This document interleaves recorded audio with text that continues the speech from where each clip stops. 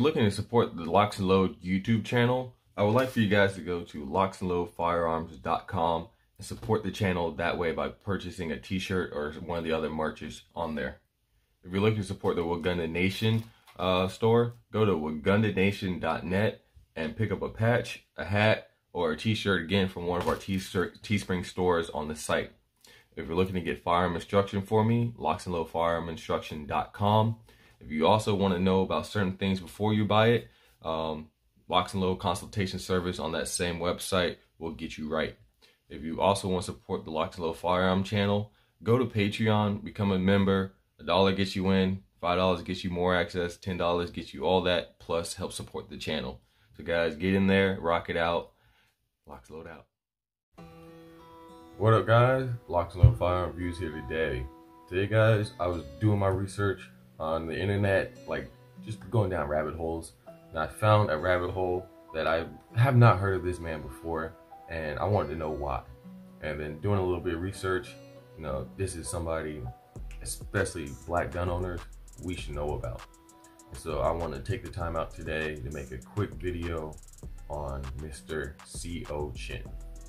All right, Mr. Chinn is a relatively unheard of civil rights hero. And I wanted to know why. Why do we hear about MLK, Martin Luther King, Carmel Stokely, Robert F. Williams, but we haven't heard of C.O. Chinn? And so today, I want to take that time out to make Mr. C.O. Chinn's history known to the world. All right, so we're going to start this off back in the 1960s when the civil rights movement was really starting to kick off and gain some momentum. This is Canton, Mississippi, and when CORE project director, Mr. Dave Dennis, had gone down there to start his project and he ran into Mr. Chinn. All right, so let's start off with when they had met because I'm using two sources of information. One is from snccdigital.org and the second one is Zinn, like Z-I-N-N-E-D project.org. It's Zinn Education Project.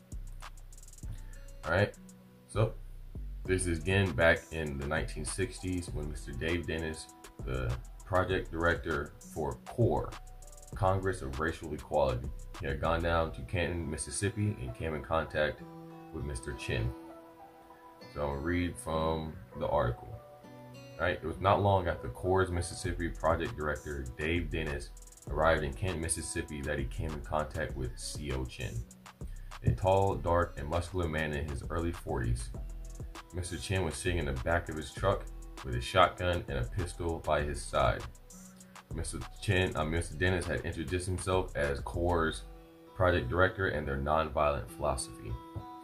Mr. Chinn, calmly sitting on his truck, listened to Mr. Dave Dennis's story, then told him, this is my town. These are my people. I'm here to protect my people and even if you don't like this, I'm not going anywhere. And that was the first introduction to the man called C.O. Chinn. Alright, so who was Mr. C.O. Chinn? Mr. Chinn was representative of the tough older generation of men within the Mississippi area who were determined to protect these organizers by any means necessary. He was a successful businessman and entrepreneur. He owned a 152 acre farm he had a bootlegging operation, he had a rhythm and blues club, and had a large collection of pistols, shotguns, and rifles. Everyone in the county, including the town sheriff, knew that this black man was somebody you did not fuck with. The sheriff had even said, there are only two bad sons of bitches in this county. Me and that nigger Chinn. Alright, so Mr. Chinn had definitely earned his reputation as a dangerous Negro in Canton, Mississippi. And this didn't just start in the 60s. Mr. Chinn had proven his reputation, or like we like to say, he had gotten his stripes way back before he had entered his 40s. And one of those stories had happened when he was a he was a child, and his family, the small independent farmers in rural Mississippi, one day a white farmer had approached Mr. Chinn's mother and demanded that she work for a white man. So when Mr. Chinn heard that his mother had been threatened, what did he do? He ran up in the house, got his 38 revolver, confronted that guy and told him to stay the fuck out of our business. And that was that. Right? And so definitely that type of energy would lead to Mr. Chinn becoming the CORE's protector back throughout the 60s. Alright? But like I had said in the beginning when Mr. Dave Dennis and Mr. Chinn first met, the CORE, Congress for Racial Equality, was a non-violent organization. But Mr. Chinn didn't believe in that non-violence. He was prepared for violence. Right? If they're non-violent, I'll be non-violent. If you're violent, I'll be violent right back to you. And so that didn't necessarily sit right with this non-violent organization. So one day when they're having a meeting at a local church, Mr. George Raymond, another project director for CORE, uh, had an issue with Mr. Chinn being outside their meetings all day or night or however long the meeting was with his with his firearms. So Mr. George Raymond had pulled Mr. Dave Dennis to the side and had a talk. Whenever we had a meet have a meeting, CO Chinn sits outside with his guns. He won't leave. He says he's here to protect his people. Can you talk to him? So Mr. Dennis goes outside and has a chat with Mr. Chinn, which is what we first heard of, where he says, I'm not leaving. These are my people. I'm here to protect them. Maybe you should leave. Right? So after he had said that, and he sees this older, obviously not dealing with the bullshit type of person with a shotgun and a pistol right next to him, Mr. Dave Dennis said, Yes, sir, shook his hand, and went right back inside the church to finish out their business.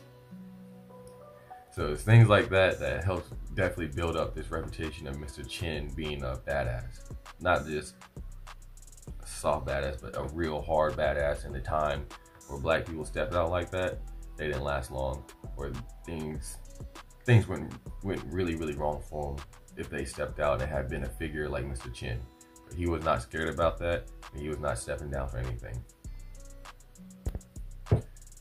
Right, so throughout the 60s, Mr. Chinn and his people have provided unwavering protection and support for these local freedom fighters.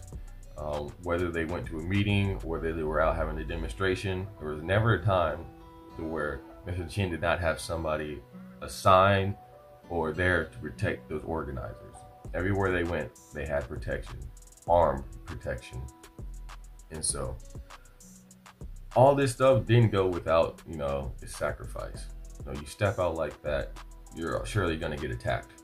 And that's what happened to him. Um, he lost his businesses, he lost nearly all his property, but he continued to campaign for the right to vote and to speak out at meetings and to be part, basically for black people to be the American citizens as what the Constitution says.